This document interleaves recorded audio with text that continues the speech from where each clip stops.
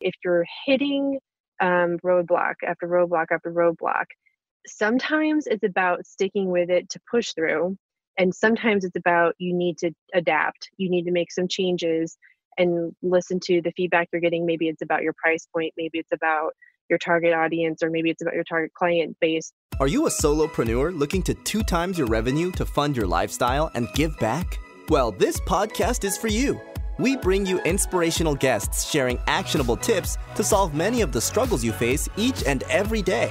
And now, over to your host, Paul Higgins.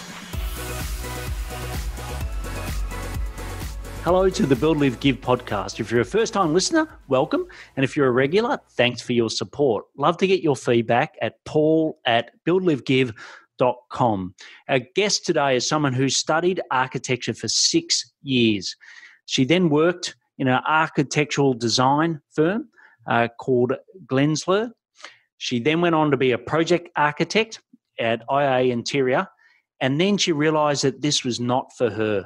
And she talks in the podcast about how she actually changed that decision based on her skills. But she pivoted to a ALG group where she was VP of recruiting and then now went into her current career, which is career coaching. So, why listen to this? So, one is how a career coach can help you to find your purpose. The second is the decision process on how and when it's best to start your own business. And the third thing is advice on how to handle that terrible T intersection where you've tried solopreneurship and you're not quite sure if you're going to make it versus going back and getting a job. So, what I'll do now is hand you over to Michelle Rademacher from RP4C. Welcome, Michelle Rademacher, to the Build, Live, Give podcast. So, welcome, Michelle. Hi, Paul. Thanks for having me. Yeah, look, great to have you on. But why don't we just kick off with something that your family or friends would know about you that we wouldn't? So it's not business related, but I think it's fun because it's coming out this week. I'm a really big Downton Abbey fan, and they have their new movie release that's happening, I think, on the 20th. So I'm looking forward to going to that with my mom, who's another fan. Great. So sorry, you you're actually going there? Is in physically? Oh man, I wish. Ah. I really wish. No, we'll just be going to the theater here in Illinois, U.S. I've seen the ads for that uh, trip over the pond, but no. Look, there's a, a, great documentary on. So in Australia, we've got a broadcaster called SBS, and okay. they've got a great uh, inside view of of the actual the mansion. So who owns it? Oh, it goes through all the rooms. Awesome yeah, it's really great. So if I can find it, I'll uh, send you the link, or if you just search for it, you'll you'll definitely find that. It. would be fabulous. Yes, I've uh, rewatched it several times, so I will be on that. Thank you for that. excellent, excellent. Well, uh, I can think of a lot worse addictions, so I think that one's a very to be British, it's very graceful and, and nice. So, uh, yeah. uh, look, I know you had a wonderful career. Started off in you know architecture, and and now you've gone into your current career, which we will talk about more later. Uh, and career, I think, is the operative word. But just tell me a little bit about you know for you, what was the decision to to go and run your own business? It really became a calling, and I say that because I think entrepreneurship is in the blood uh, it's just as far as I can surmise and also in the coaching of other professionals, Paul. But uh, it's, I say calling because it's not for the faint of heart. And I think you really have to be wired to do it. So it was a couple of steps to this, including recognizing that I had chosen a career that I was mismatched for and really built up a lot of identity in it, which would be architecture and I made a first pivot to executive recruiting to that industry and then really found that calling in the coaching space of other professionals. Great. And what was the sort of take us to the moment where you decided to make that first, the big career change from architecture to, to recruiting? That was actually a really long process. I first felt the that something was amiss um, kind of post recession like 2009 10 was when things were not really at all back up and running but in 2011 it started to stabilize a little bit out here in the chicagoland region and it's just something was off and i felt like i was trying to figure out what i thought that maybe i was just not servicing the right kinds of clients and needed to change project work. Or I thought maybe I needed to change a company culture. And really, at the end of the day, I was just in the wrong career. I was in the wrong profession for me. And that was a very difficult thing to let go of because behind a 12 year career in architecture is four years of undergraduate work and two years of master's work in that same industry so it was a lot to give up so it wasn't it wasn't fast for me it was actually very slow it was for i did the math recently because i was kind of curious myself in terms of how long it was about four years and 10 months before i made the actual change Wow. And if, you know, someone's listening at the moment and they might be, you know, they might be a month in, they might be four years in. I know for me it was definitely, you know, close to that five year mark. What what advice on reflection would you give them? I don't think you can uh, rush yourself in the sense that you really do have to be ready for the change to go into um, solopreneurship or entrepreneurship, whichever one you want to call it. Um, but I also would say it's more difficult when you're trying to do it on your own. And I think, I don't know if that's the case for you too, Paul, but that was partly why it took me so long. I didn't actually know of a concept of a career coach and actually wish I had because that would mm. have expedited the process because I would have known what was wrong. It's very difficult for you to diagnose on your own because you're the one in the mess of it.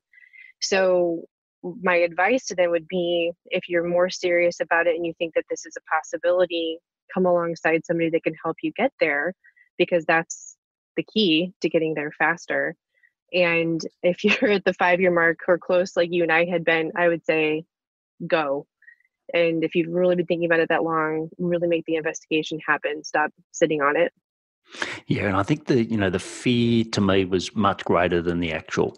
Um, and you know, I'm not saying year two the fear didn't come back, but it was a lot less. And and I I totally agree with you that you know trying to self diagnose. I actually went to a career change company that I paid for uh, myself, mm. and it was a mm. big investment. But the problem was that they were very good at just changing careers.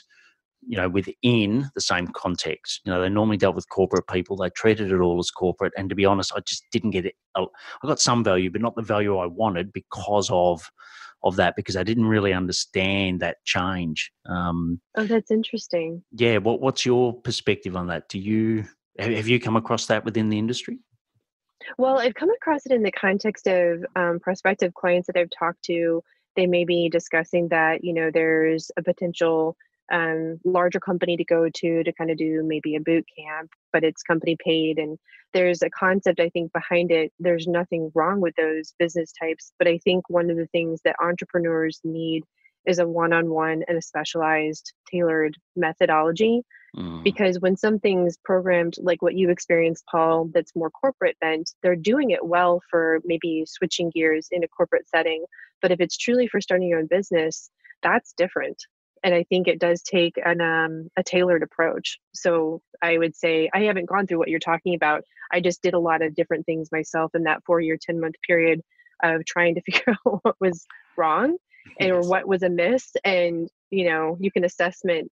Um, you can do assessments to death at some point, and I think the problem is you can't really help yourself. You have to have somebody outside it to look inside. Yeah, look, uh, and uh, yeah, I think that's uh, very wise. And uh, you know, for you, when you finally made that transition after four years, uh, ten months, was it easier or harder than you expected?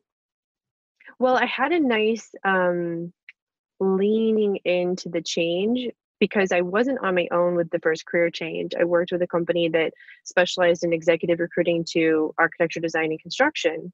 But what it was a why it was helpful for me, Paul, was that it was a stepping stone to moving from the corporate pace of commuting. So I'm in Chicago area, which means um, you know your two hour commute sometimes, depending on where you live in the suburbs of the city, and going in board an office to working at home and setting up your own structure, working on the phone all the time. That was a shift, and that was necessary, I think, to mm. help me be successful right out the gate on my own business because that wasn't something I had to adjust to. I was already doing that. If that makes sense. Yeah, look, it does. And and I know you said you know you in a, effect got some help, but who else along the ways helped you uh, build the successful business that you've got today? You know, mentors, coaches, masterminds. You know, who's who's supporting you? Well, I get a lot of support from my family. Um, I remember when I talked to them about the fact that I was going to do it, they were supportive because they knew the change needed to happen there was enough going on for me that it was like this definitely needs to i need to make that shift. And at the same time i wish i would have taken more counsel with my dad who ran his own practice for years because um, i could have learned a lot but neither one of us really thought about that. It was kind of one of those things that it was more of that i think a blessing in the failing as you go like fail forward as they say. Yes. and we were talking i think maybe it was six seven months post started the business and it was these conversations that I, I joked with my dad. I said, I should have been talking about this in month one. What happened? And I have, and I guess part of it is I exude um, confidence in what I'm doing. And I did do well in certain areas, but there was also major lessons to learn in those first six months that um, they really gave great counsel to. So my family's one and then I would say that um, the coaching certification programs that I've gone through, there's just a nice network of folks that are, um, I wouldn't say everyone's like minded because I think they have different specialties, but we do rally around this idea of helping people. And we, we're very passionate about that. And so that's another group that I get a lot of support from. Yeah. And uh, your dad, what sort of practice did your dad run?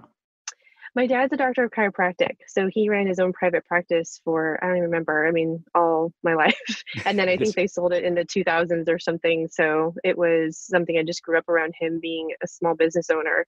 And he, paul he made it look a lot easier than it really was. I just told him like so many times this year i was like you made this look simple. Oh my goodness you know but as a kid you don't really have to know the hard stuff you just get yes. to know the fun stuff but yeah he made it look easy Great. And uh, the the coaching accreditation was that with UMAP? Yeah, it is. Yeah. So just tell tell us all a little bit about UMAP. UMAP is really um, just. I feel like it's a really sweet thing in the coaching space and in the personal development space because one of the things that was kind of a happy sad for me, Paul, as I came through the certification process, was that I could look back into my first career in architecture and understand very quickly where things were misaligned. Mm-hmm. And to mm-hmm. give you a quick synopsis of that, UMAP looks at the four pillars of career satisfaction your strengths, which are your natural God given talents, your values, your skills, which are the daily tasks that you do, the ones that motivate you and energize you, and then your career interest type, which is somewhat dealing with personality. And um, for me in my rear view of my first career in architecture the misalignment was in the daily tasks the skills section. And i had no idea that the majority of what i did as a project architect 60% of those tasks were things that just drained my energy. And it was like a nice recognition and i wasn't I, am at that point paul of doing this um, i think five years post leaving architecture right but it also was like oh my goodness i can't believe for 12 years i stuck in something that at the end of every day and every week was zapping me of my energy mm. that's how challenging that one can be because it can sneak up on you and that's the i think as i've coached clients through the umap process everyone has a different pillar that kind of brings a different um, breakthrough moment and i will say the most tends to happen for my clients through values and skills Yes, and have you ever heard of Saville Wave?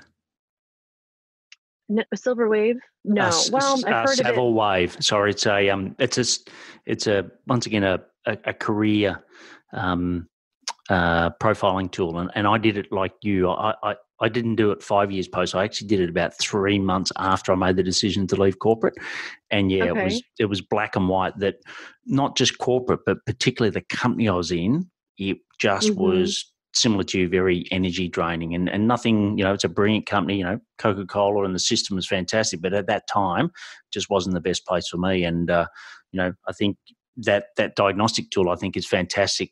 Plus, with the one-on-one coaching to to bring that out. But before we go in, oh, actually, what we'll do is go into the next section, which is the build section. So you know, I think you've sort of hinted on this, but if someone comes up to you and says, Hey, Michelle, what do you do for a living? You know, how could you help me? How do you best describe that?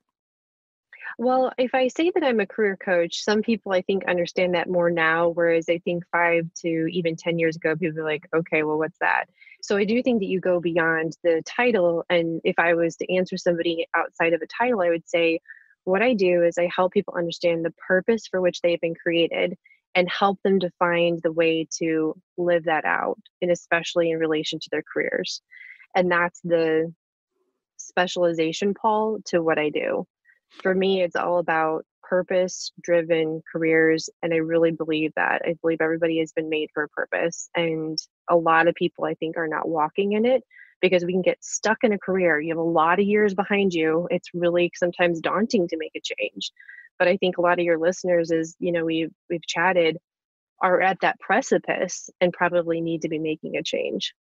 Yeah, and um, without you know uh, giving someone's name, can you give us an example of what that means in reality? You know, someone you've worked with that have followed their purpose, uh, you know, and changed their career.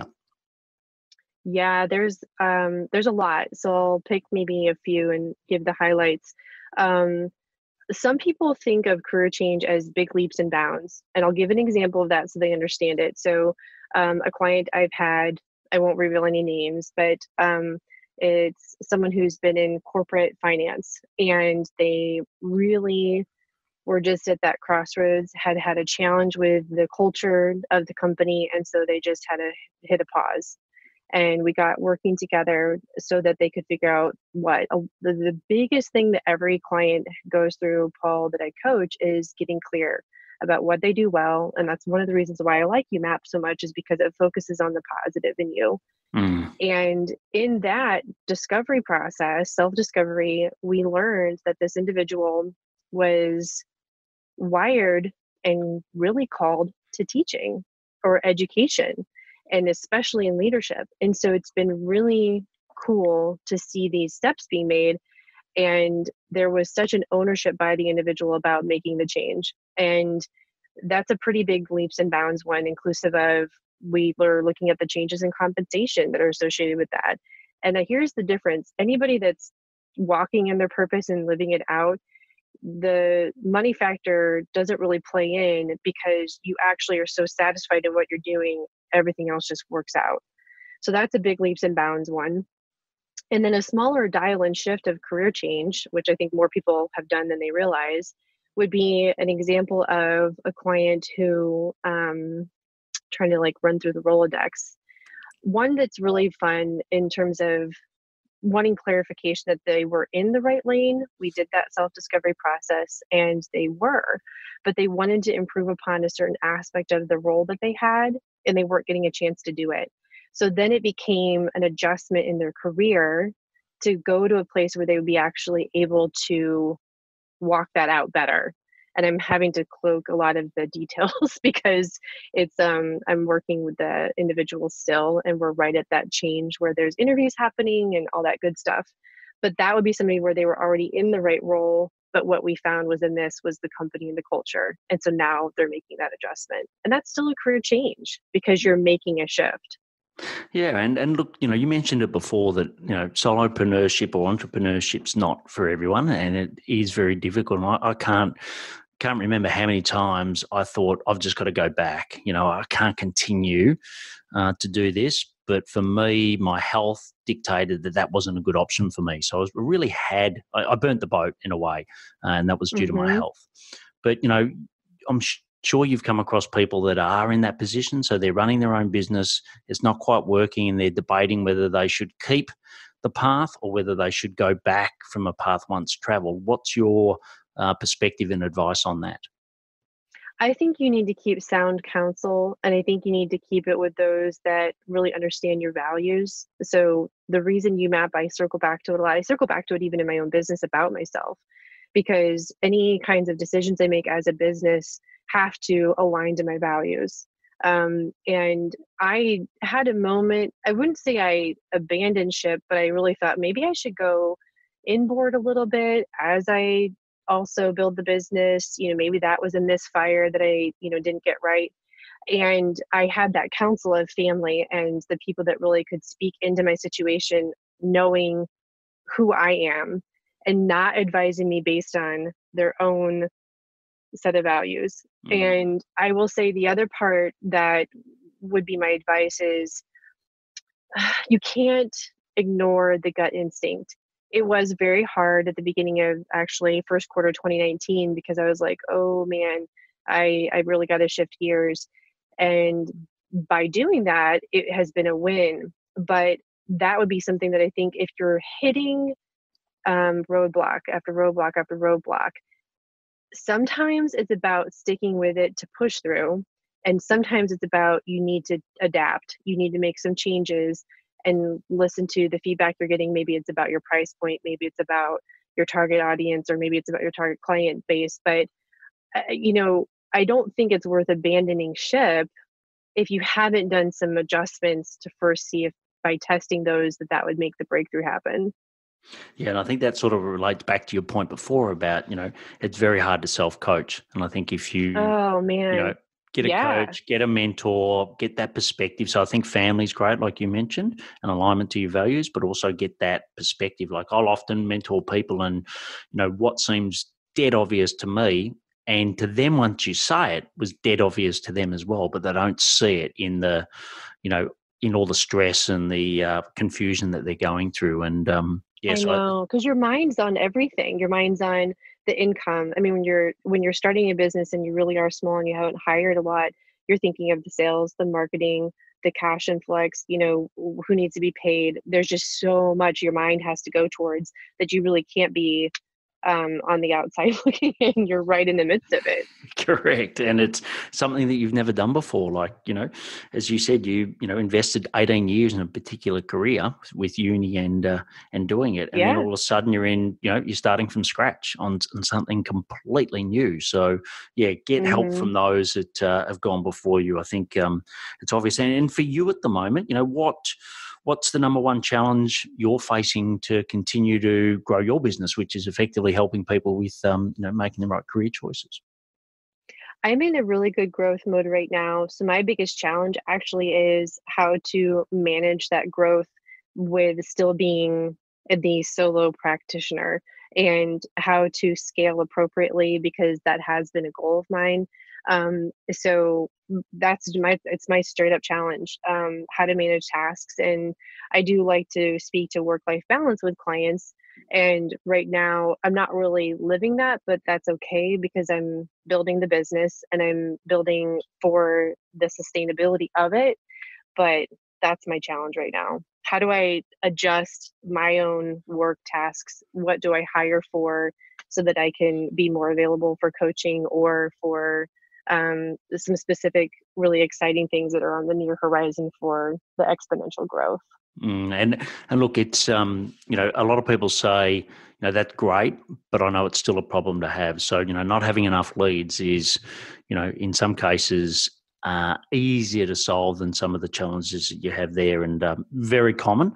And um, you know, are ones that once again, you know, getting help certainly you know sees that a lot they'll seize the benefits of that come a lot quicker. And as far as leads, so you know, like you said, you've you've done a brilliant job in uh, getting a lot of business in. What's been the m- most successful source of leads for you? Well, that was really fun for me. Um, so one of the consultants I work with um, is in well, I shouldn't say your neck of the woods because it's a, across the country for you, but it's on your side of the world. And um, this goes back to the way that I make decisions as a business owner. And I would say for those that are looking at solopreneurship, having an understanding of themselves through their own UMAP would be key because knowing how you make decisions through your strengths, which we do use Strengths Finder, but the application of those strengths, Paul, is really important. Mm-hmm. And so mm-hmm. to circle back to that, one of my my fuel strength is deliberative, which means it's the energy source that just pushes everything forward. And someone who's deliberative means that they are very conscientious of every single decision. Others who are more, you know, I guess they might see it as slow, like that's a misperception of the strength. But I'm really careful about my decisions. And in such, I was, I had tons of people asking about, oh, I can do this for you, that for you through the leads process. And it took somebody that did it so well that it got me to pay attention. And I'm really keen on I can read through a lot of junk, I can read through the spin, I can read through the hook.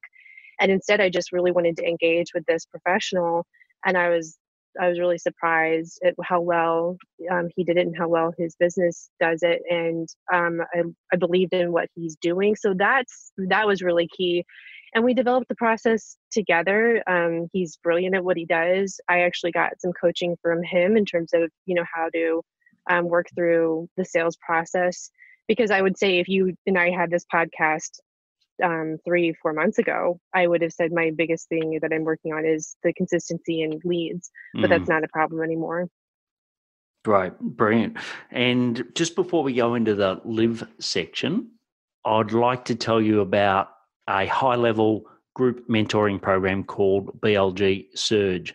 So we work with like-minded solopreneurs to add additional revenue streams. So very similar to what we've been talking about with Michelle so far, to fund your lifestyle and to work less hours. So just go to buildlivegive.com forward slash surge to apply and join the waitlist today. And there'll also be a link to that in the in the show notes. But I think, you know, as you said, Michelle, you know, getting that help in an area that you know is not your strength and also be surrounded by experts or peers with experience is, is so valuable. So the next section is the live section. So why don't you tell us about some of the daily habits that make you successful? Well, Paul, this is going to sound like it's a plug, and people who don't know me don't understand that I don't do anything that's not authentic. yes. So I'm not in engagement pods on LinkedIn. It's just not my MO. So, but what I'm going to say is I've really enjoyed your podcast because I've learned a lot of things about the um, fine tuning of the business. My strength in being adaptable can have its weakness in being too adaptable, too um, prone to following distractions. So as silly as it sounds, I put up on my monitor for my computer, ignore the distractions, follow to the to do list. Because for me, it's so easy to switch gears. I really love multitasking. And it's a benefit in some ways and it's a detriment in others. So I've found that that's really key to making sure that I stay on task. And I use like a lot of the tips that you've shared, which you talk to a lot of business owners. I mean, I really can't emphasize this enough for people that are at the outset of their own business growth to pay attention to a podcast like yours or others. You know what I mean? Yeah, look, totally. And, uh, you know, I practice what I preach. I'm an avid listener of podcasts. And, you know, I don't think there's too many unique ideas in the world. There's always a, a spin on an idea. But, you know, listening and, you know, I just can't think of in the old days, you know, you'd have to go out and buy these books for, you know, $25, $30. Yes. You know, you'd never finish one, all those things. you'd fall asleep, or blah, you're blah, not blah. a book reader. Yeah. Yeah, correct. Whereas now, you know, you know, even I work from home like you, but you know, hang out the washing, you know, walk the dog, whatever. I can listen to podcasts at two and a half times speed and, you know, get brilliant uh, not just content but ideas. So look, I'm you know, I'm I'm I'm biased, obviously, because I love podcasting, but I think it's a great way. So if you're listening now, you know, like Michelle said, uh, there's lots of out there. And if anyone wants to get my list of uh, podcasts, just email me at uh, paul at buildlivegive.com and uh, I'll, I'll, give you my hidden list as well. So the next section is the give section. So what's a charity or a community that you support and why? Um, I'm going to answer that, but I want to go back to something really quick on the live section, Paul, for yeah, the sure. sake of. I think the the LinkedIn is one of my favorite communities to, to coordinate and collaborate in, and everything. I just it's my favorite social media platform. But there's there can be a lot of noise for people in terms of what to follow, and so I think when you can stay to true to who you are and make sure that what you're listening to aligns to your values, that is important because there's just so much. Like you could have somebody else out there that contradicts your own advice, and it's like, well, who do I listen to, right? So yes. I think that's good. When coming to the give section, I um, there isn't like one big macro charity that I would recommend. I actually think what's more impactful is when people become engaged in their local community.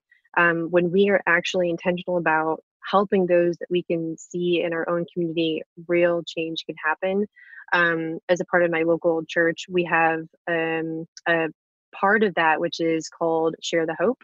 And so we literally um, collect food and pack it in boxes and it's available for anybody in the community that is on you know hard times and you'd be surprised paul it's not just the people that are in a homeless shelter or um, you know holding a sign on the street corner there's hard times for families that are maybe mm. in between jobs you know and yes. coaching people that are unemployed you know sometimes they just could really use a help with hey i've got some groceries that didn't cost me anything so that's something that i think if we can look to the local there's real impact that can happen Excellent. Well, the last section is the action section, where I'll ask you a question and get a rapid fire response. So the first one is What are your three top personal effectiveness tips? I'm laughing because I don't think I have top three. I really find that I'm um, spontaneous by nature, and so I do have a to-do list item at the end of every day at 9:30 p.m. Central Time, which says plan your to-do list for the next day that's the main thing that I do to stay effective. So just one tip. yeah, no, that's fine. It's uh, great. And the next one is what tech could you not live without or not run your business without? Um, I'm a Mac girl, so the computer, the iPhone, the watch, everything gets coordinated. I, I really, I don't know how I would do business without it all and zoom zoom is really helpful yeah well look they're mine and uh, just as a quick aside i think my wife she thought that the only reason I left corporate is so I could buy everything Mac. Um, Linda, if you're listening now, it, it was never the case. Uh, oh, funny. The next one is, you know, what's your best source of new ideas to improve you and your business? So this is funny, Paul, because you and I um, had a quick exchange on one of your um, posts about ideation. Like new ideas are not hard for you, that's something that I don't ever have to struggle with. So I don't have a good advice for others, except that I think if you can start to aggregate data from folks that you follow with content leaders on LinkedIn or maybe through business books that you enjoy, but sometimes just creating a new story. But for me, I don't know if it's fortunate or not because sometimes you can't even stop the ideas; they just keep flowing. it's, I mean, I think you could relate. That's the yeah, challenge. Definitely, yeah, definitely. And, and as in most strengths, a strength overplay can sometimes be a weakness. And my team, every team I've ever managed, have always come back and said, "Look, you know, I love working for you, but uh, gee, you come up with lots of ideas." yeah, like slow down, right? yeah, correct. Which is code for come on, we can't keep up. Uh, so the last question is uh, a really big question, and that's why we leave it to the last. But what impact do you want to leave on the world? I really um, am hoping that I am known less for who I am and known, more known for um, helping others really understand the beauty that um, they've been created to do. So I I hope that I'm seen as a servant leader, someone that is not pointing to self. And I find that a challenge, I will just say, with LinkedIn because you're out there and it seems as if it's just like me, me, me. But in reality, I really, I tell my clients all the time, it's about you. This is about mm. getting you to where you're supposed to be.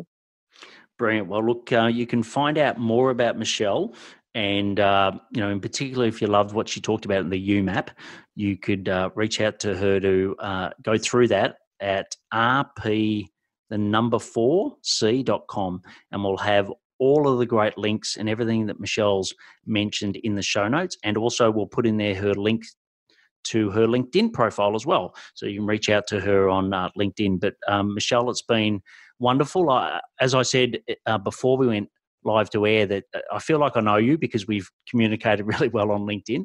But it was great yeah. to actually hear more of your story today. And you know, and your passion for helping others, which has come through really clear.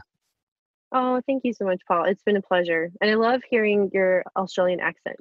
I wonder if you get that a lot. It's fun. to those of us in the States, we sound boring to those yeah, in look, Australia.